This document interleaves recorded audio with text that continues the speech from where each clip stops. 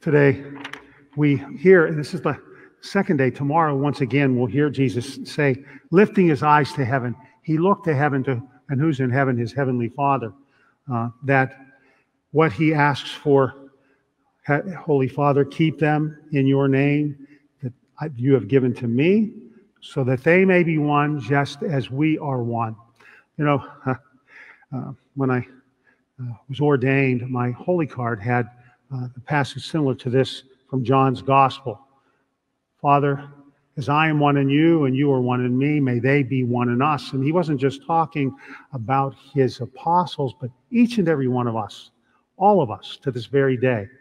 And what makes us what what makes us one? What is that unity? Well, it's through the power of the Holy Spirit that we've been praying for, huh?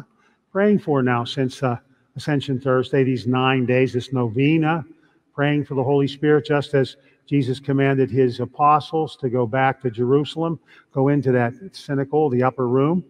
And they, along with our Blessed Mother Mary and some other women in their group, they prayed fervently each day for the Holy Spirit. And of course, we know what happens, you know, after that ninth day, the end of the novena, how the house shook, huh? the wind blew, and there was fire from the Holy Spirit that rested above their heads, each one of their heads like flames. Huh? Can you imagine what that must have looked like?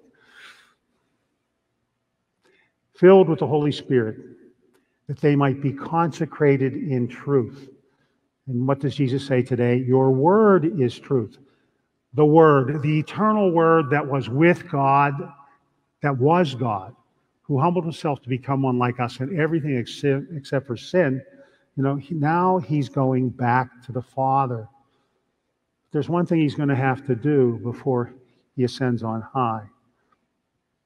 He's going to have to offer himself. Being consecrated means to set aside for God's work. And just as surely as we hear today uh, in the first reading from the Acts of the Apostles, huh, um, that we, you and I, um, have to, like Paul, work. Work at building the kingdom of God upon the face of this earth. And then Paul's very clear about that. You know, what was he in his trade in life was a tent maker. And he says, I didn't ask anything from you. I worked hard at my trade as well as working hard at delivering the good news of Jesus Christ to you. And that's what he does.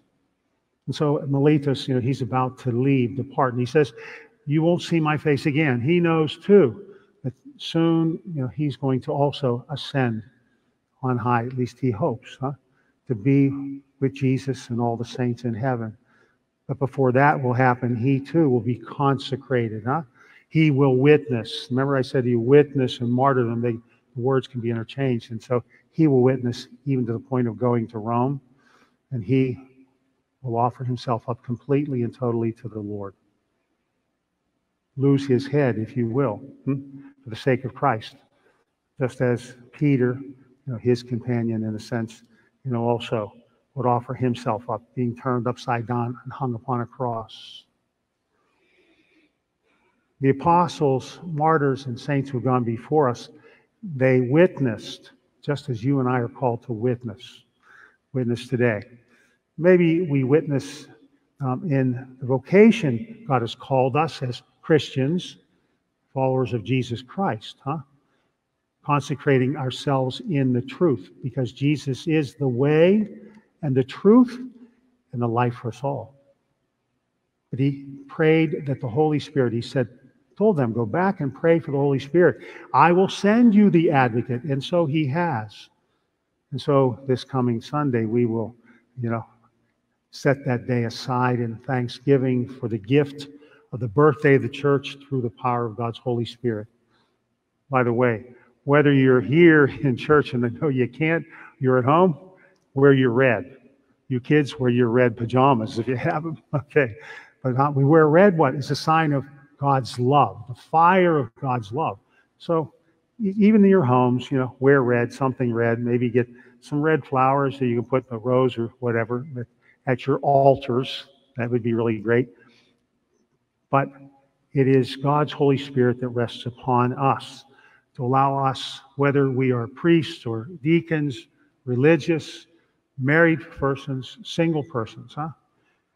We remember in a special way today uh, George and Ann McCarthy, who celebrate their 50th wedding anniversary. Congratulations to you. I don't know if it was today or not, but that's the math. We're offering that up. And I also, in a special way,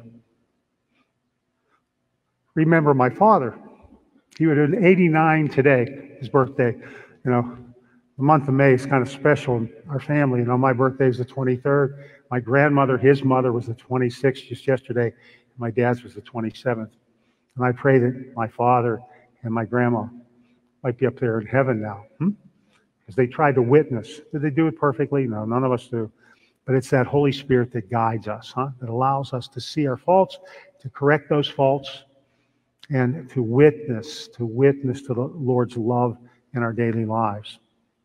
And so today we thank God uh, that we might be consecrated in the truth of Jesus Christ our Lord, and that by doing so, one day we too may share in the glory of heaven with Him and all the apostles, martyrs, and saints.